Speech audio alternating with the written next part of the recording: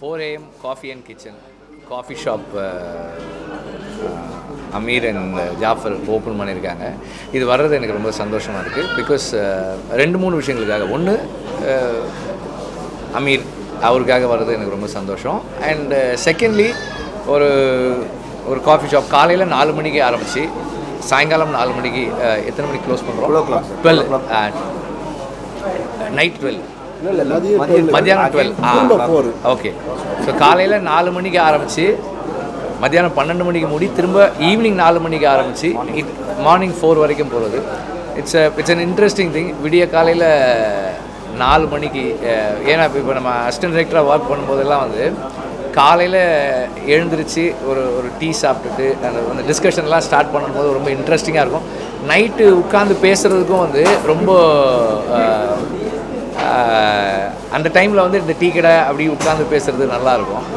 இது வந்து ஆமாம் ஆமாம் இது ஈசிஆர் ரோட்டில் இருக்குது it it is a very nice place to sit and talk இப்போ நான் வந்து எனக்கு வாய்ப்பு இருக்கும்போதெல்லாம் இங்கே வந்து நைட்டில் உட்காந்து ஸ்கிரிப்ட் பேசுகிறதுக்கு நல்ல நல்ல ஒரு இடமா இருக்கும்னு நான் நினைக்கிறேன் எனக்கு. ஐம் ஃபீலிங் வெரி நல்லா இருக்குது எனக்கு ரொம்ப பிடிச்சிருக்கு இடம். சொல்லுவேன் சொல்லுங்கள் கூறிய இந்த காப்பி கடை வந்ததுக்கு நான் பெருமைப்படுறேன். ஃபஸ்ட்டு இந்த கடைக்கு என்னோடய வாழ்த்துக்கள். டைரக்டர் ஆக்டர் அமீர் அண்ணன் அஹ், ஜாஃபர் அண்ணன் ரெண்டு பேருமே வந்து இதை ஆரம்பிச்சிருக்காங்க. ரொம்ப சந்தோஷம்னு. ஏன்னா ஒரு சினிமாக்காரனா இன்னைக்கு ஒரு சினிமாக்காரனுக்கு பல நாள் ஒரு தாய் தகப்ப மாதிரி உதவி இருக்கிறது. இந்த காப்பி கடை தான் நான் சொல்லுவேன் டீ கடை தான் சொல்லுவேன். அப்படிப்பட்ட கடைக்கு வந்ததில் ரொம்ப பெருமையாக இருக்குது. காப்பி கடையிலும் பல மாற்றங்கள்லாம் வேலையில் நடந்திருக்குது. ஸோ அதனால் சில நேரங்களில் வந்து நல்ல காப்பி இருக்கும் நல்ல இடம் அமையாது. நல்ல இடம் இருக்கும் நல்ல காப்பி அமையாதுன்னு சொல்லுவாங்க. இங்கே இது இங்கே ரெண்டுமே நல்லா அமைஞ்சிருக்கு. இதை தாண்டி அந்த கவனிப்பு முறை ரொம்ப நல்லா இருக்குன்னு எதிர்பார்ப்பாங்க எல்லாருமே. அது இனிமேல் தான் தெரியும். கண்டிப்பாக நல்லா இருக்கும்னு நான் நம்புகிறேன் ஏன்னா அமீரன் இருக்காங்க. அதையும் தாண்டி ஒரு காப்பி கடை மட்டும் வந்து ஏதோ ஜாலியாக ஏதோ பேசிட்டு போனேன் டைம் பாஸ் பண்ணிட்டு போனேன் அப்படி மட்டும் இல்லாமல் மிக சிறப்பான ஒரு விஷயம் பண்ணியிருக்காங்க. புக்ஸு வச்சுருக்காங்க. வந்தவங்க காப்பி சாப்பிட்டு சோன் சொல் மேட்ரை மட்டும் பேசிட்டு போகிறத விட்டுட்டு. புக்ஸ் எல்லாம் வாங்கி அதை படிச்சுட்டு போகிறதுக்கு இன்னைக்கு ரொம்ப நல்ல விஷயம் அற்புதமான விஷயம். அதே அவங்க டேரக்டர் அப்படின்றது கரெக்டாக இந்த இடத்துல அன்னை ப்ரூவ் பண்ணியிருக்காங்க. அதுக்கு நம்ம மனமார்ந்த வாழ்த்துக்கள். கண்டிப்பாக இந்த கடை இன்றைக்கு மாதிரி எப்போவுமே கூட்டமாக இருக்கும்னு நம்புகிறேன் எல்லாத்துக்கும் பிடிக்கும்னு நம்புகிறேன் வாழ்த்துக்கள். வணக்கம். என்னுடைய அழைப்பை ஏற்று வந்திருக்கக்கூடிய பத்திரிகை நண்பர்கள் அனைவருக்கும் என்னுடைய மாலை வணக்கம். எனக்கு திரைத்துறையில் நிறைய நீண்ட காலம் நான் இருந்தாலும் தொழில் மேலே எப்பொழுதுமே எனக்கு ஒரு ஈடுபாடு உண்டு. ஸோ அந்த அடிப்படையில் என்னுடைய நண்பர் ஒருவருடைய அவருடைய ஐடியா தான் இது. இப்படி பண்ணலாம் அப்படின்னு சொல்லிட்டு அவர் பிகைண்ட் த ஸ்கீம் இருக்கார். அவர் இதுக்கு முன்னாடியே வரலை. ஆக்சுவலாக இந்த கடைக்குள்ளே என்னென்ன பொருள் இருக்குன்னு நானே நேற்று இன்றைக்கி தான் ஒன்று கொஞ்சம் கொஞ்சமாக தெரிஞ்சிட்டு இருக்கேன் நான். ஸோ இதை இதை ஓப்பனிங் பண்ணுறதுக்கு என்ன யாரை வேணாலும் கூப்பிடலாம். சரி எனக்கு ரெண்டு பேரை கூப்பிடணும்னு தோணுச்சு. ஸோ எனக்கு நெருக்கமாக இப்போது பக்கத்தில் இருக்கக்கூடிய வெற்றிமாறன் சூரிய எது கூப்பிட்ருங்க அப்படின்னா நீங்கள் எல்லோரும் விடுதலை வெற்றிக்காக சூரிய கூப்பிட்ருக்கேன்னு யாரும் நினச்சிட வேணாம். வந்து சூரியனுடைய வளர்ச்சியை நான் பார்த்து எப்பயுமே பிரமிப்பாக பார்த்து வாழ்த்துறவன். நான் வந்து சூரிய வெறும் நடிகராக பார்க்கல.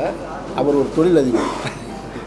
ஆமாம் அவர் மதுரையில் அவருடைய அம்ம அம்மன் மெஸ் வந்து எப்பொழுதுமே மக்களுடைய பரபரப்பான போக்குவரத்தில் இருந்துகிட்டு இருக்கிறது. ஸோ அதனால் அவர்கள் தொழில் பற்றி நல்லா தெரியுன்றதுனால தான் நான் சூரிய அழைச்சிருக்கேன். இன்னும் இன்னும் இன்னொரு நண்பர் பழனியப்பன் மாட்டிக்கிட்டார். கொஞ்சம் லேட்டாக வந்துட்டுருக்காரு. மற்றபடி தொழில் தெரியல எனக்கு. நம்ம வேறு சினிமா விழாவாக இருந்தால் நிறையா பேசலாம். தொழில் தொடங்கியிருக்கோம்.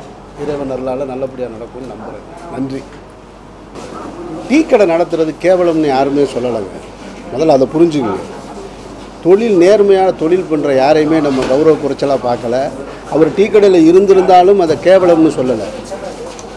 அவரை விமர்சனம் பண்ணுறாங்க அப்படின்னா டீ கடையிலேருந்து வந்து என்ன பண்ணினார்? படித்தவர்கள் வந்து நீங்கள் இந்த கடைக்கு போங்க. படித்தவன் நான் வந்து டிகிரி முடியலைங்க நான் இன்ஜினியரிங் முடிக்கலை. நான் மெடிக்கல் முடிக்கலை. நான் முடிச்சுட்டு டீ கடைக்கு வரல. நல்லா புரிஞ்சுக்கணும் நீங்கள் நான் திரைத்துறையில் ஒரு இடத்துல இருக்கேன். ஸோ நான் ஒரு தொழிலுக்கு வர்றேன். நீங்கள் படித்தவன் தே டீ கடைக்கு போ பகடா போட போ அப்படின்னு சொல்லும்போது அதை ஒரு ஒரு தேசத்தின் பிரதமர் சொல்லக்கூடாதுன்னு தான் அந்த விமர்சனத்தை முன்வைக்கிறோம். அதனால் தொழில் எதுவுமே கேவலம்னு சொல்லலை. படித்தவன் அந்த வேலைக்கு போ நீங்கள் நிர்பந்திக்கக்கூடாது அவன் முடிவெடுக்கணும் அந்த வேலைக்கு போகிறதுக்கு புரியுதுங்களா? அது விருப்பம் உள்ளவங்க வர்றாங்க. அவ்வளோதான்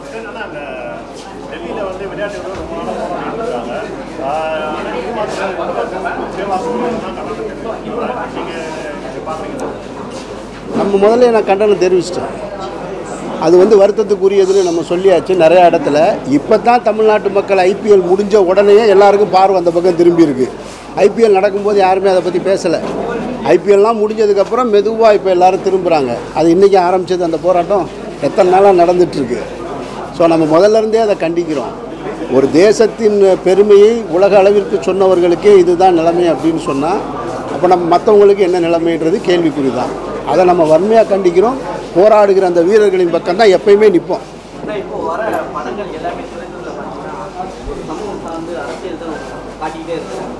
ஏன் வரக்கூடாது? வரணும். வெறுமன திரைப்படங்கள் பொழுதுபோக்குகளாக இருந்த காலகட்டம் என்பது வேறு. இன்னைக்கு அரசியல் சார்ந்த படங்கள் வர வேண்டியது அவசியமாக இருக்குது அதனால் அந்த படங்களை வரவேற்கிறோம். நன்றி. உடனே அவருக்கு அடுத்த வந்து ஓப்பன் பண்ணி கணக்க முதல் நம்பி முதல்வர் சொல்கிறார் இதுதான் அரசியல் நாகரிகம். பகு பண்பட்ட ஒரு அரசியலாக பார்க்குறேன். இப்படி தான் அரசியல் இருக்கணும். எதிரெதிர் கருத்துக்களாக எதிரெதிர் துருவங்களாக இருந்தால் கூட கருத்து சுதந்திரம் முடக்கப்படக்கூடாதுன்றதுல ரெண்டு பேரும் ஒன்றா இருக்காங்க. வாழ்த்து தானே. எங் நம்ம டீ கடையில் சமூக நீதி அரசியல் தாராளமாக பேசலாம் ஆனால் இந்த திராவிட முன்னேற்றம் ஆட்சி வந்த பிறகு சிறுவாசி ஒரு வாக்கு அது வந்து இன்னும் பார்த்தீங்கன்னா ஒரு கிடப்பிலே தான் இருக்கு அதை பற்றி நீங்கள் என்ன நினைக்கிறீங்க இல்லை அது ஏமாற்றம் அளிக்குதுன்னு நான் சொல்லிட்டேன் நான். அது ஏமாற்றத்துக்குரியது தான் கொடுத்த வாக்குறுதியை தேர்தல் வாக்குறுதியை திமுக அரசு நிறைவேற்றணும்னு நம்ம பல முறை சொல்லியாச்சு. இப்பவும் உங்கள் முன்னாடி சொல்கிறேன் நன்றி.